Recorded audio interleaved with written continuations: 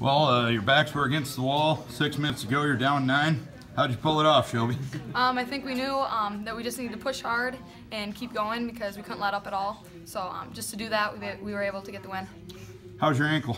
Um, both of them are kind of a little painful right now, but okay. Victories uh, have a way of healing the pain, don't they? Mm, yeah, definitely. So, Sadie, uh, what was your, uh, in your mind, what was the key to the comeback?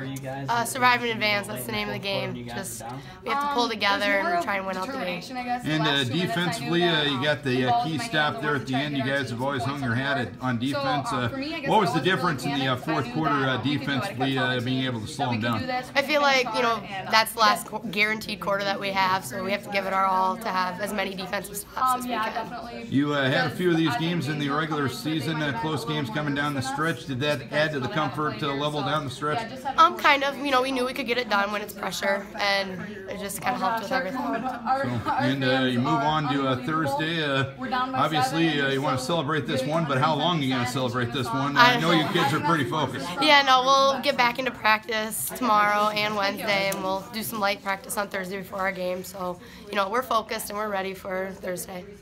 And uh, Shelby, I'll ask you. Uh, you had a few of these games in the uh, regular season. You were down, I know, at halftime of your first regional game this year. You think the Waterloo West game, the Springville game, uh, did that add to the comfort level for you guys down uh, the stretch, uh, knowing the fact that you could uh, come back in a situation like that?